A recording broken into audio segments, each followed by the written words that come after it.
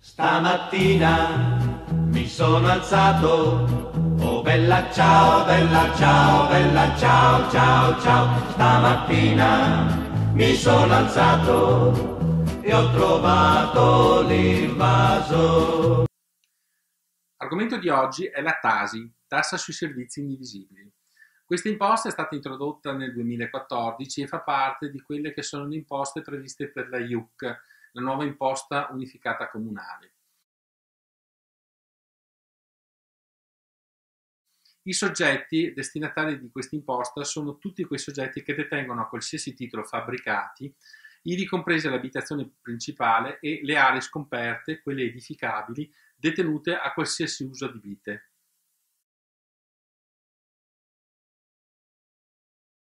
L'imposta si determina dalla rendita catastale con la rivalutazione del 5%, metodo già noto perché è quello con cui calcolavamo l'IMU. Poi l'imposta base pari all'1 per 1000 e la massima pari al 10.6 per 1000, quindi il range per il calcolo della tasi è dal minimo dell'1 a un massimo del 10.6 per 1000, tenendo presente che i comuni hanno chiesto un'applicazione di maggiorazione dell'1 per 1000. Il comune, chiaramente, che è il soggetto destinatario, poi farà la sua delibera nella quale andrà a determinare l'imposta, che però per il 2014 non potrà essere superiore al 2.5 per 1000. Tenendo presente la richiesta che era stata fatta, si andrebbe al 3.5 per 1000. Quindi mediamente nella stampa specializzata i calcoli vengono fatti con l'aliquota del 3.3 per 1000.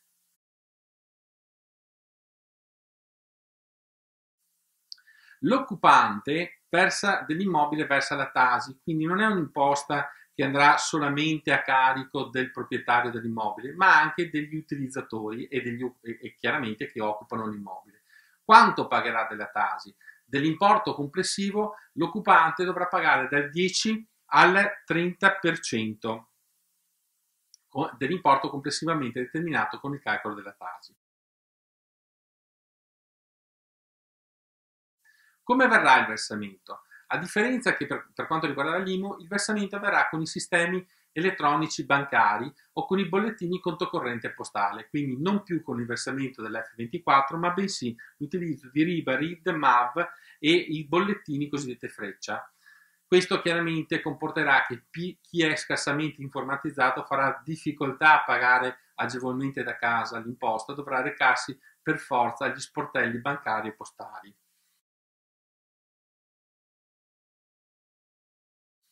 Il versamento, quando verrà versata la Tasi? La Tasi verrà versata con un minimo di due soluzioni con una scadenza temporale di sei mesi dall'una all'altra.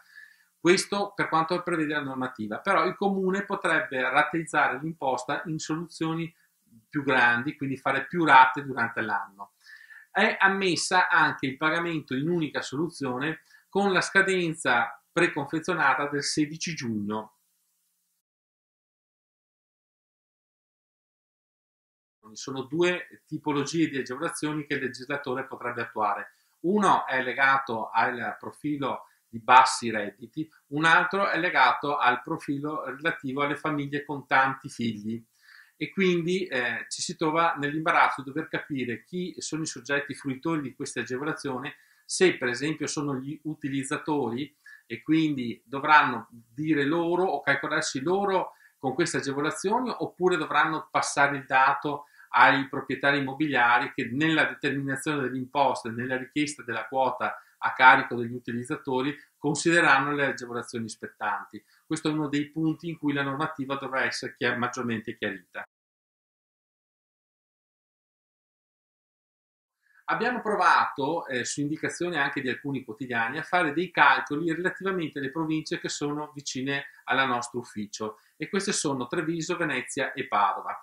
Mediante questi calcoli ah, ci siamo accorti che ci sono due aree macroeconomiche, una per quegli immobili che sono considerati immobili fino a 70.000 euro di valore, quindi monolocali o bilocali, l'altro per quegli immobili più grandi, con le villette o le casette a schiera, non di lusso considerati nella classifica degli A7. Nel caso per esempio di Treviso, la categoria, quella 1, chiamiamola gli immobili fino a massimo 70.000 euro, produceva un IMU nel 2013 pari a zero, quindi non era soggetta all'imposta, mentre col calcolo della Tasi al 3.3 per 1000 l'IMU è stata, la, pardon, la Tasi è stata calcolata a 166 euro. Nella categoria 2, invece, quindi le villette categoria A7, l'IMU nel 2013 era 285 euro, mentre la Tasi al 3.3 per 1000 è pari a 400 euro. Tutto questo genera che nel primo caso, cioè la categoria 1, ha avuto un incremento di 166 euro. Nel secondo caso, cioè la villetta, l'incremento è di 115 euro. Fra la categoria 1 e la categoria 2, fra la villetta e diciamo, pardon, fra la casa da 70.000 euro e la villetta, la casa da 70.000 euro paga 51 euro in più, quindi sostanzialmente paga il 30.70% in più rispetto alla casa di, più grande. Questo è un grande problema che si genera in questo tipo di imposta perché l'abbiamo analizzato anche negli altri due eh, comuni e Venezia dal 56.70% mentre Padova dal 57.40%. Quindi sostanzialmente la tasi è molto iniqua rispetto a quelle che sono le case piccole perché pagano di più rispetto che alle case più grandi. E questo in controtendenza rispetto a quanto dicono gli amministratori comunali, ad esempio le ultime dichiarazioni dell'amministratore dell'ufficio tributi del comune di Padova che eh, sosteneva che invece a Padova non c'erano aumenti di questa natura, ma l'imposta era a carattere ordinario. Vi ringrazio per l'ascolto, vi rimando alla prossima puntata. Oh bella ciao, bella ciao, bella ciao, ciao, ciao, questo è il fiore del partigiano, morto per la libertà. Questo è il fiore del partigiano, morto per la libertà. Questo è il fiore del partigiano morto per la libertà.